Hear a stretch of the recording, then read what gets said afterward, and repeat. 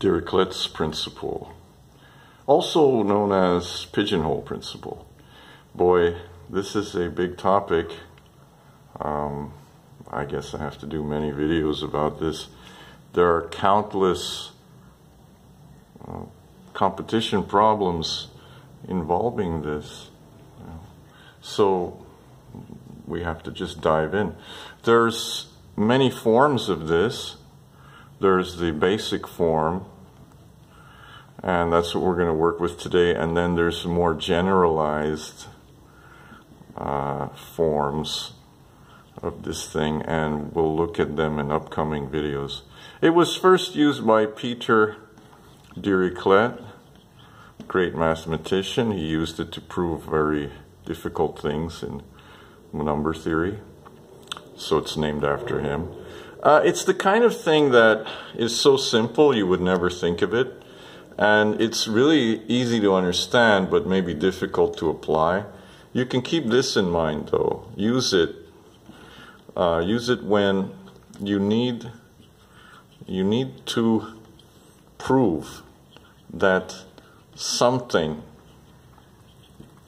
concerning finite sets or finite collections of anything exists. So the question will, will ask you, you know, prove that something exists and you have no idea how to build that something. Well, often it's provable by Dirichlet's principle. So we're going to look at the most basic form today and it works like this. It's uh, usually phrased in terms of pigeons and holes, but I'm not going to do that.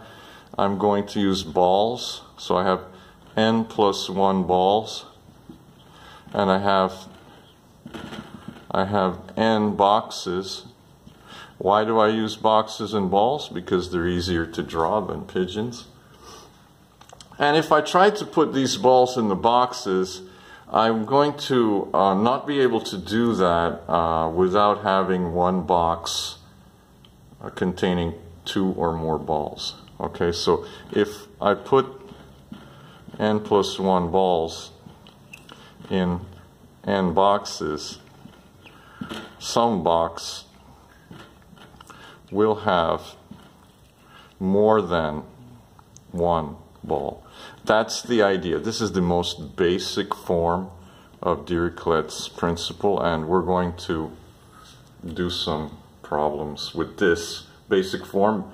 Uh, I guess the way to learn how to apply it is by doing a lot of examples um, and a lot of vari variations. You know, a lot, there are ways of using it in geometry. There are ways of using it in in so many different contexts and it's sometimes very unexpected you know set theory number theory geometry and you can use this to prove something uh, it's unexpected how that happens so we have to look at many different contexts for these problems so i should do many videos so the first problem we're going to look at is like a really an easy one i have n plus 1 numbers and prove that prove that there exist A and B among them such that uh, n divides A minus B.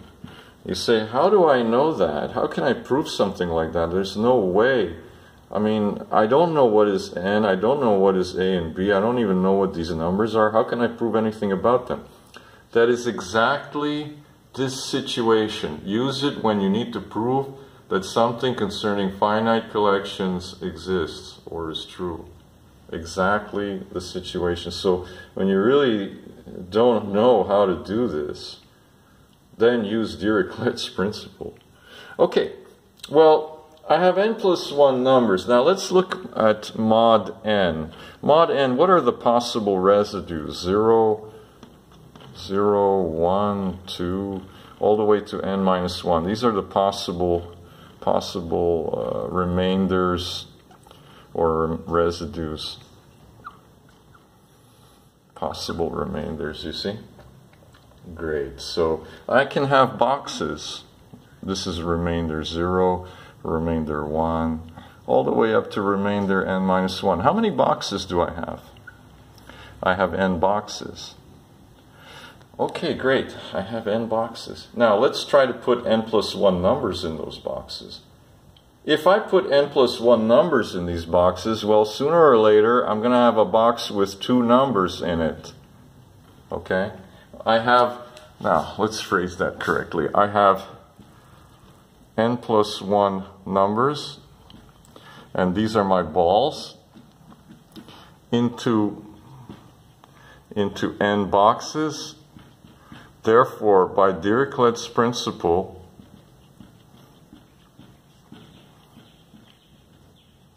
one box will have uh, more than one number. Okay, so take two, two of them in that box, A and B, call them A and B. So one box is going to have an A and a B, maybe has more, maybe more, but like just take two of them. And this has remainder R. So A is congruent to R, mod n, and b is congruent to r mod n, you see? You see? And so what's a minus b? Well, that's r minus r is congruent to 0 mod n. And if something is congruent to 0 mod n, therefore n divides a minus b. Now, that's amazing. Now, think about it. Okay, I don't know what these numbers are. there's just, all I know is there's n plus one of them but I know two of them, if I subtract them, I can make it so that they're divisible by n. Hmm. Very, very weird. But that is the nature of Dirichlet's principle, and that's why it requires a lot of um, study, practice, and we're going to do that. Okay, the next one is a classic problem. So I have people at a party let's say I have I have many of them. I have n people people at a party. And we're going to prove that prove that two of them have the same number the same number of acquaintances. That's very interesting. We have no idea how many people there are. We don't know their relationships with each other. And yet we're supposed to be able to prove that two of them have the same number of acquaintances. And yeah, we can do that by Dirichlet's principle. Watch. Let's take for our boxes to be the number of acquaintances. So you can have anything from 0 all the way up to n minus 1.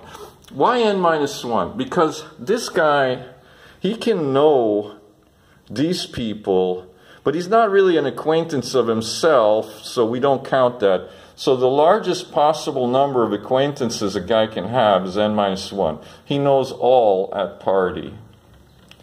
Uh, and this guy knows none. Okay, he knows nobody at the party. He does know himself, though. So this is why we don't classify yourself as an acquaintance. Now, this is very interesting. Let's take case one. Case one is when we have some guy, or maybe one or more, one or more in here. There's at least one in here. Now, if there's one zero acquaintance, there cannot be someone who knows everyone at the party. If he knows everyone, then it's not possible that this guy doesn't know him because he knows him, that means he knows him, right? It's uh, two ways. They are acquaintances. So it's if this guy knows everyone at the party, then it's not possible for this guy here to know nobody, nobody at the party. So that rules this out. So how many ways can we distribute our objects? Well, I've got a guy in here, okay, and here I've got from I cannot put, if I put another one in here, I've got two people who know the same number of acquaintances. So let me try to distribute it into here. How many are in here? I have from here to here, this is n minus 2, n minus 2, okay. From here to here, I have n minus 2 people. I have n minus 1, uh, n minus 2 boxes. I have n minus 1 people to distribute in here because I already did this one. This one finished, so I have n minus 1 people left. n minus 1 into n minus 2 boxes. Some box will have two people. And so if a box has two people, it means there are two people that have the same number of acquaintances. Another case is like this.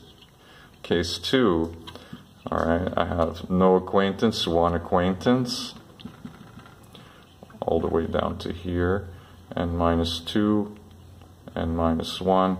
And I have a guy who knows everyone. Well, if, if he knows everyone, then this is impossible. And I have the same situation here. I have to put n minus 1 people into these boxes, and I can't do that without having two in one box. You say, why don't you put another one in here? Well, that would be two in one box. Finally, here's another case. Case 1, case 2, case 3. Here's another case that maybe we don't think about too much, but I'll think about it, n minus 2, and here n minus 1. I don't put anything in here and I don't put anything in here. Now I have to distribute among these boxes, I have to put n people among these boxes. So of course, if I try putting n people in here, I'm going to have a box having two people, right? And there you go. Okay, it's always true. There will always be two people who knows the same number of others at this party. Okay, so that's a quick illustration of um, the basic um, Dirichlet principle. I'd like to talk about it again, maybe even revisit the same problems. It's often good to try to explain the same problem uh, in many ways. So I'm going to be doing that over the next few weeks. If you like this, click like, and subscribe for more stuff on Dirichlets principle. And hang on for more videos coming soon.